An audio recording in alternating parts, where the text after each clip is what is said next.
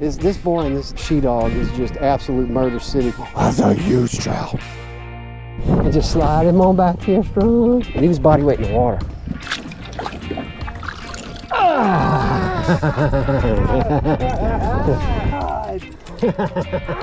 Ah! Oh, right behind the house. What? Man, what a fish, huh? Yeah. Just kind of just moving it, moving it, and we're drifting. Something about this thing That this she-dog, morning. I can't Something's match it. going on with click, click, click, click. We might have to drift this again, huh, Ty?